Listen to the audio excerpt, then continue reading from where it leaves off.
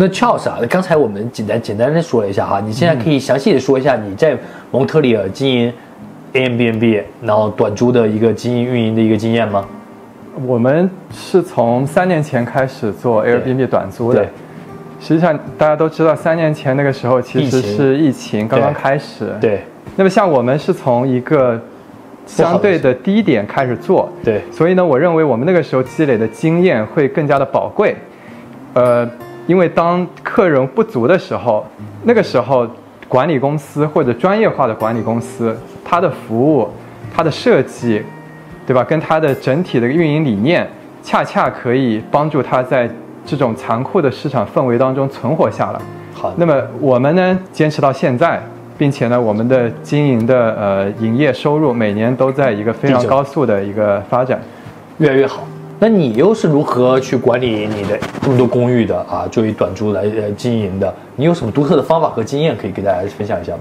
因为 Airbnb 一般的人认为它可能只是短租，对但是我认为它其实是跟酒店是一模一样的，酒店行业是一模一样的。对，你可以看到所有成熟的酒店呢，它的品牌从零到现在壮大那么多，它其实是，呃，需要靠一整套体系对去维持它整体的一个服务质量水平。对它不是说某一个点做好了，你就可以把整个事情做好。对，那么呢，所以我我在这一这一段做 Airbnb 的体会就是说，每一个阶段你希望把你整就整体的一个水平提升。呃进行一个提升提升对，通过不同的一个系统，比如说你要建立你自己的呃就清洁就体系，对。你需要建立你整个的备品的体系，你需要建立整体的一个客户运营的体系，对，包括最后你需要建立一个客户的一个。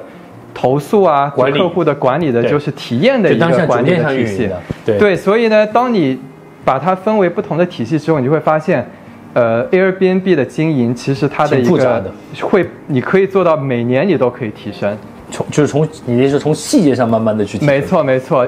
但是这一点呢，其实作为个人的是 Airbnb 很难投资者是很难的对。它需要整个的团队，他需要不停的，我们需要不停的讨论、开会，并且总结各种各样的经验，对吧？像我们一年的话，有服务的客户有好几万个晚上，那跟可能跟一个独立的房东一年可能也就做那么几百个晚上，那总结出来的经验是不一样跟体系，它肯定是不同的数量级的我本科在瑞士读酒店管理的，啊。那您是专家了，没有我们也这是外块这块这块很多做酒店很很多年不做酒店了，对。啊那你这我可以看得出来，你就是不从不管是硬件上还是软件上，甚至是舒适度上，甚至感觉上，就是非常重要的，对。对我们是是主要是承办是在细节嘛。细节细节。你们窗帘每季每个季节换颜色吗？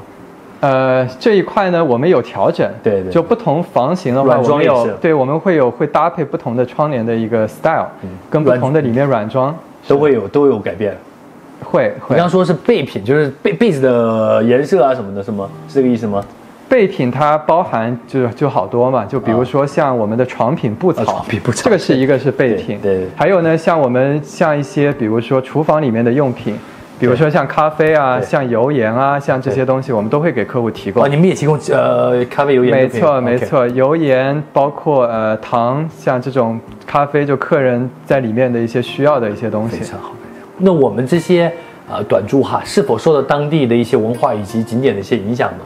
就是对于蒙特利尔的文化，或者不管是嗯文化上呢，还是说、呃艺术上的，对，哼，呃，这一点我觉得从我们的整体的就设计的理念上面会有一些影响。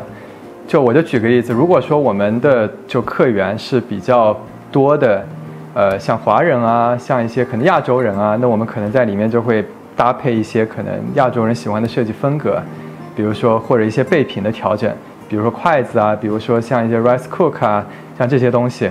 那么，因为我们的客源主要还是以像欧洲、美国的西人为主，那我们的里面大部分的房源，我们可能会偏向于他们喜欢的一些风格，就西式的啊，包括现在流行的一些自然风啊、boho 风啊这样子的风格。对，ins 风，对，ins 风，现在我就因为对，因为年轻人喜欢，对，是这样子，对。对。旅游客户并不是在这个在这个区域当中不是特别多哈，会对你的有产生影响吗？因为在我印象当中，什么老港比较适合做 Airbnb，当然也出事了哈，或者是皇家山啊，或者就是比较旅游还有什么什么呃翠翠湖山庄这一类的。没错，对对，不然东盟花亚，对我觉得您这个问题非常的好。实际上呢，如果说作为投资人的话呢，选择什么样的短租物业，跟它的 location 其实是非常重要的，因为每一个地方它都有，就是会吸引到的那么一批的呃，就是客户群体。我举个例子吧，比如说您刚刚提到了老港或者市中心，这是游客比较多的地方。对那这个地方可能你会发现，哎，旺季的时候它确实人流量很大，对。但是，一到淡季呢，就怕游客可能比较少了，等于说是就会相对而言，淡旺季的差差距就会非常的大。那么，像我们这边呢，有就是旺季，其实我们这边的入住率也是相当的高的。对。呃，为什么呢？就是有一些他是愿意租车开车的游客，对，商务人士，呃，包括商务人士啊，包括他的一些等于说自驾游的人士啊，包括这些呃 international 的游客，但是他他落地在机场，他要租车的，因为我们这个地方他租他停车很方便，我们有地下停车场，哦，有地下停车场，对，同时呢，哦外面的话呃停车也是免费的。对投资科研里肯定对收益还是比较感兴趣的哈，我们就直接的问收益这一块了。像这样一个公寓，在我眼里，一个房地产经纪眼里哈，如果配家具的话，至少可以租到两千五，可以租到一个月长租的话啊。那你这边如果用短租的形式的话，是一个净值是一个怎么算法呢？包括还有关还有肯定还有管理费，毫无疑问哈。没错，对我听一听，对这个问题相信也是呃小猪的粉丝最关心的一个话题。对对对对因为说白了，大家都知道做短租肯定要比长租更费心，对更花精力。对那么呢，中国的古话说“无利不起早”嘛，对吧？既然大家都愿意做一个那么费力的事情，如果你再不挣钱，那肯定就吃力不讨好了。是。那么肯定的，短租呢，正常情况下哈，如果说是由一个专业的管理公司打理，它正常的收入的话，应该会在长租的两到三倍。三两到三倍毛毛利润啊。对，这个啊是一个，这个是一个合理的一个一个区间。对对对那么如何做到这样子呢？那么就离不开，就是说，第一个就定价很重要。对。第二个呢，就是说我们需要有一整套的一个 marketing，系对对对一整套 marketing 的一个体系对，对因为你照片肯定得非常的漂亮，对对里面的软装啊这些东西才能帮助你 stand out。对同时再结合专业的管理，从而让你的收入每年都可以提升。那也就是说，这套一个月的毛收益的话，大概在五千到七千五加币都有可能，嗯，是有可能的，对。甚至旺季会更高，就我们这里正就正常的话，应该旺季的时候差不多最高是六七千，六七千啊淡季的时候可能差不多三三千左右。三千到五千。你们这边管理这么多物业哈，呃，收费是按照什么收呢？是按每一起收呢，还是怎么一个收法呢？我们一般来讲，Airbnb 的收费它会它是 performance based 的，就是根据你的收入的分成比。赚得多，对，这样子呢，能够尽可能的给管理公司一个最大的一个 motivation。像 incentive 这样，相当于我们会啊很会玩啊。